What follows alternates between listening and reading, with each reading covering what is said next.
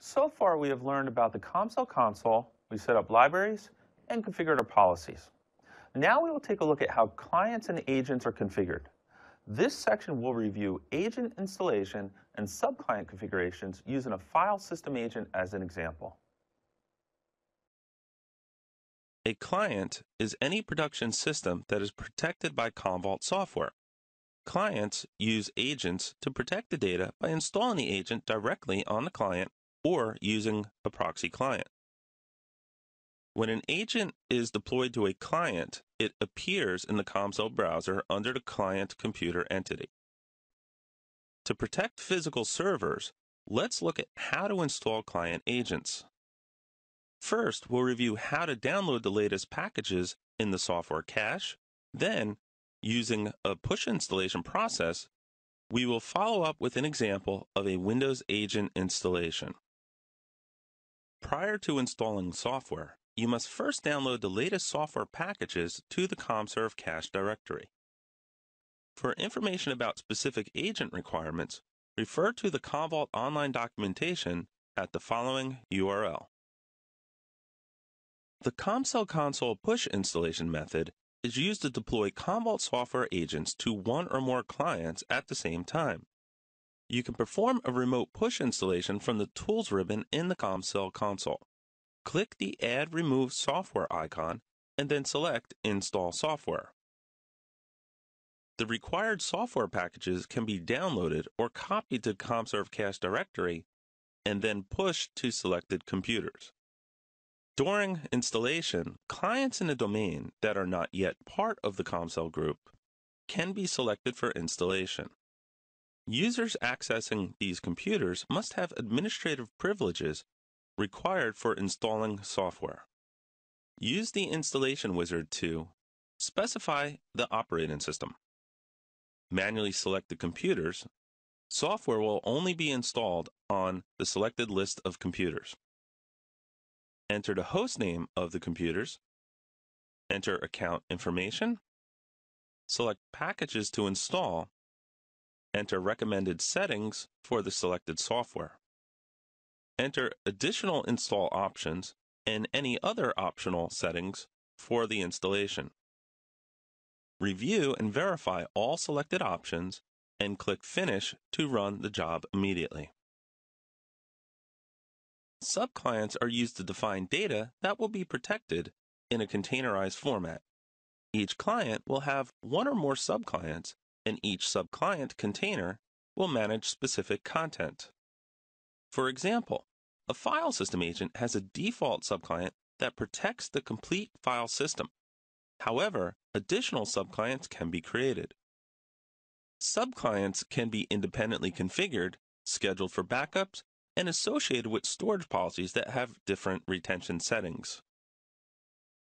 Commvault software handles data protection at the subclient level, where each subclient, when protected, runs as a separate job. Content defined in a subclient is associated with a storage policy. This determines what library will be used during backups and the retention of the data. In this example, you can see that two subclients are being directed to two different storage policies.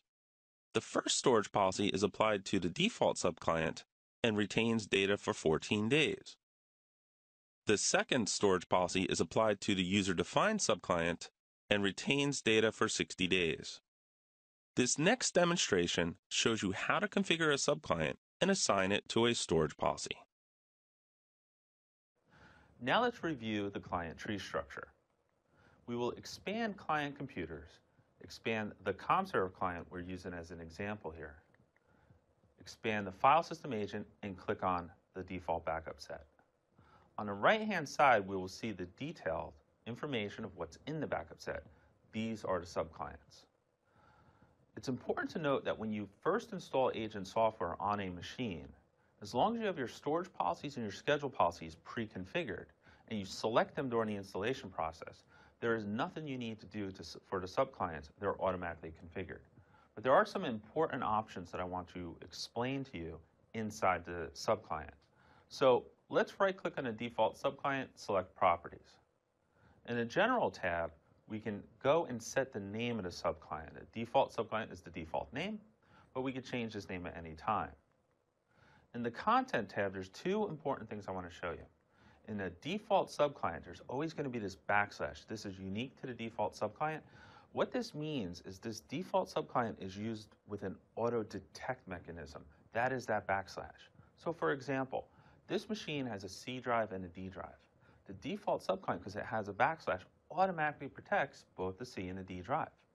Later on down the road, if you go and add another drive, that drive, because the auto detect feature is enabled, will always be protected. It is strongly recommended not to take away this backslash from the default subclient. Down at the bottom, we have the system state option. You want to back up system state if you're going to use Commvault to recover the entire system. This will ensure when you go to browse the data that not only your data will come back, but the entire state of the system upon restore will come back. The next tab is the Filters tab. At the top is the option to use global filters. Global filters are set in Control Panel, and you can inherit those filters into each subclient. If you set this to off, then those filters will not be inherited. You can also set local subclient level filters.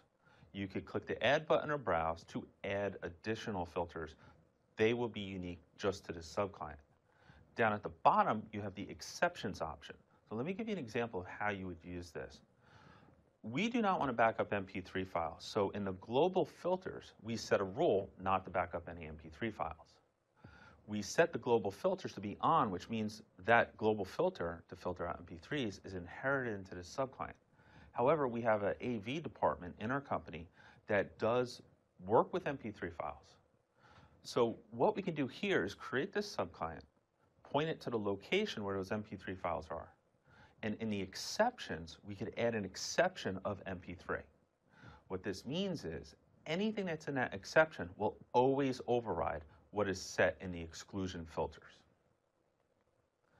The last thing I want to talk about is the Storage Device tab.